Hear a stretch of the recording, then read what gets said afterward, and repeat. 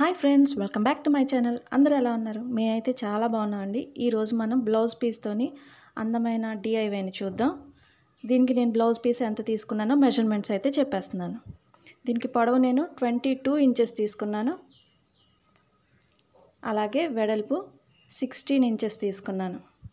Measurements అయితే నేను తీసుకునే చూపిస్తున్న సైజ్ అయితే మీ ఇష్టం అనమాట సో బ్లౌజ్ పీస్ రెడీ అయిపోయింది కదా? మనకి ఇటువంటి థిక్ ప్లాస్టిక్ షీట్ అనేది కావాలి.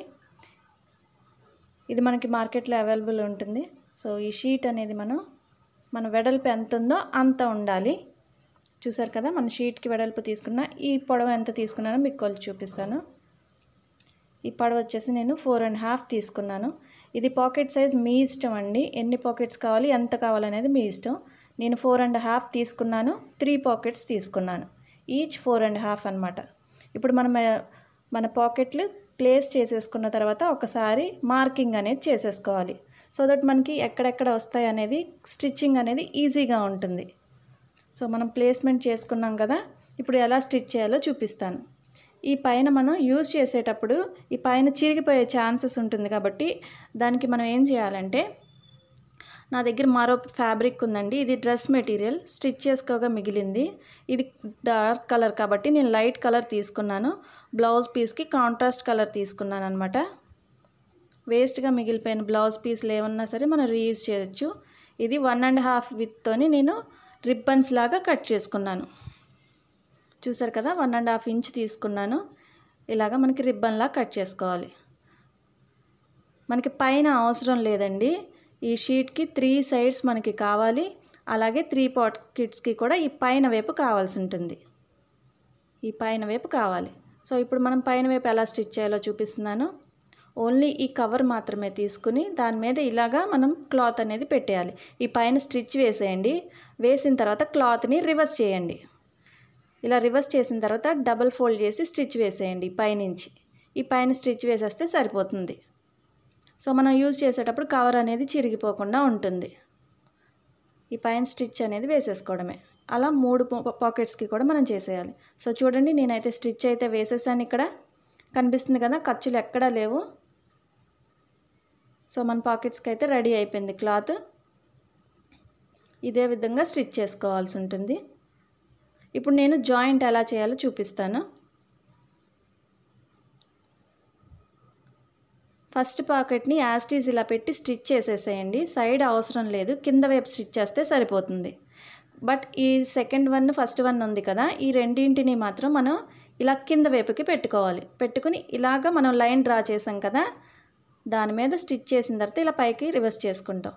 మనం లైన్ డ్రా చేసాం కదా దానికన్నా ఒక హాఫ్ ఇంచ్ పైకి పెట్టుకొని ఏదైతే లైన్ డ్రా చేసామో దాని మీద స్టిచ్ వేసేయండి. ఇదిగో చూడండి నేనైతే జాయిన్ చేసేసాను.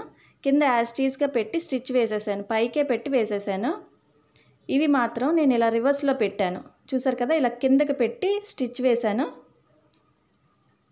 ఇలా జాయిన్ చేశాను. ఇప్పుడు నేను వీటిని పైకి లాగుతున్నాను. సో ఖర్చులు అనేవి మనకి పాకెట్ లోపలికి వెళ్ళిపోతాయి.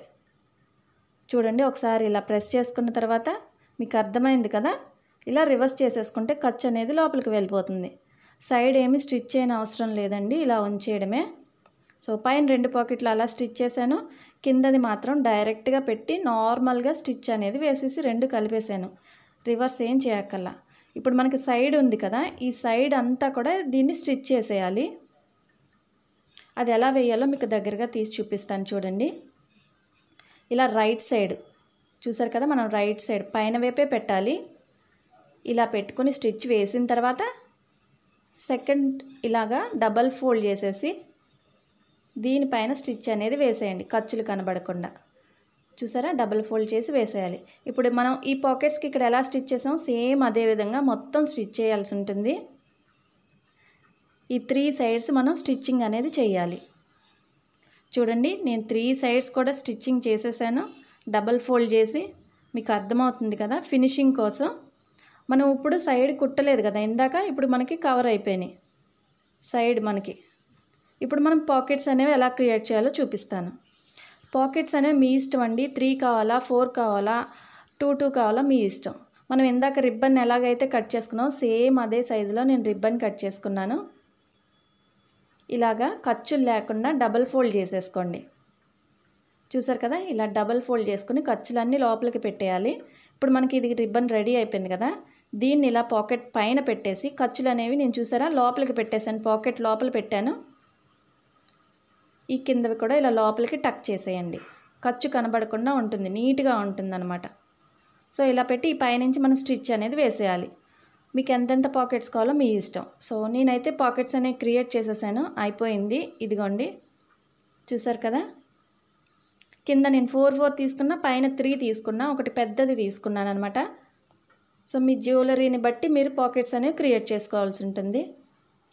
జ్యువెలరీ ఆర్గనైజర్ అయితే దాదాపుగా రెడీ అయిపోయినట్టే. ఇప్పుడు పైన ఫినిషింగ్ అనేది ఇచ్చేద్దాం. ఇలా రివర్స్ చేయండి. బ్యాక్ రివర్స్ చేసిన తర్వాత ఇలా డబల్ ఫోల్డ్ చేసేసుకోవాలి. మీకు కనిపిస్తుంది కదా? ఇలా డబల్ ఫోల్డ్ చేసుకొని స్టిచ్ వేసేయడమే. సో నేనైతే స్టిచ్ వేసేసాను పైన కూడా. ఎక్కడ ఖర్చులు లేకుండా. ఇప్పుడు మనం దీన్ని హ్యాంగ్ చేసుకోవడానికి డోరీస్ అనేవి చేద్దాం. ఈ విధంగా రిబ్బన్ కట్ చేసుకుని సేమ్ బ్లౌజ్ పీస్ క్లాతే తీసుకున్నాను నేను ఇక్కడ. ఇలా డబల్ ఫోల్డ్ చేసుకోండి ఖర్చులు లేకుండా దీన్ని కూడా యాస్టీజ్గా స్టిచ్ అనేది వేసేయాలి. చూసారు కదా? అదే లంగా బొందులు నాడాలు కుట్టుకుంటారు కదా? సేమ్ అలాగే అనమాట ఇప్పుడు మనం అటు సైడ్ ఇటు సైడ్ వీటిని ఇలా పెట్టుకోవడమే. పెట్టి స్టిచ్ వేసేయడమే. మార్కింగ్ చేసుకోండి సేమ్ ఈవెన్ ప్లేస్లో వచ్చేలాగా మార్కింగ్ చేసుకుని మీరు స్టిచ్ అనేది జాయిన్ చేసేయండి. ఒక ఫైవ్ టు సిక్స్ ఇంచెస్ అటు ఇటు వదులుకొని స్టిచ్ వేసేసుకుంటే సరిపోతుంది. మన ఆర్గనైజర్ రెడీ అయిపోయింది. ఇప్పుడు నా బ్యాంగిల్స్ అలాగే మా పాపవి ఏవైతే ఉన్నాయో సేమ్ మీ దగ్గర ఏ ఉంటే వాటిని జ్యువెలరీ ఆర్గనైజర్ అనేది ఇంట్లోనే ఒక్క రూపాయి కూడా మనం ఏం ఇన్వెస్ట్ చేయలేదండి. సో చూసారు కదా? బ్లౌజ్ పీస్ని ఎలా రీయూజ్ చేసుకోవచ్చో మీ బ్రాస్లెట్స్ క్లిప్స్ బ్యాంగిల్స్ వాట్నట్ ఏవైనా కూడా మనం స్టోరేజ్ చేసుకోవచ్చు. ఇది మనకి ఆన్లైన్లో కూడా దొరుకుతుంది. కాస్ట్ ఎంత ఉంటుందో మీరు ఒకసారి వెళ్ళి చెక్ చేసుకోండి. మనం అయితే కనుక వన్ రూపీ కూడా ఇన్వెస్ట్ చేయకుండా దీన్ని అయితే రెడీ చేసేసుకున్నాం. సో చూసారు కదా? మొత్తం జ్యువెలరీ అంతా నా దగ్గర ఉన్నాయి పెట్టేసుకున్నాను. సో మన ఐటెం అయితే ఇదిగోండి. ఫైనల్ అవుట్లుక్ అయితే ఇలా వచ్చింది. చూసారు కదా? మీకు నచ్చిందా? మీకు నచ్చితే కనుక తప్పకుండా నాకు కామెంట్లో చెప్పండి. నచ్చితే కనుక ఒక లైక్ ఇవ్వండి. నాకు ఇంకా మంచి మంచి వీడియోస్ చేయాలన్న ఒక ఎంకరేజ్మెంట్ అనేది ఉంటుంది మీ లైక్ వలన.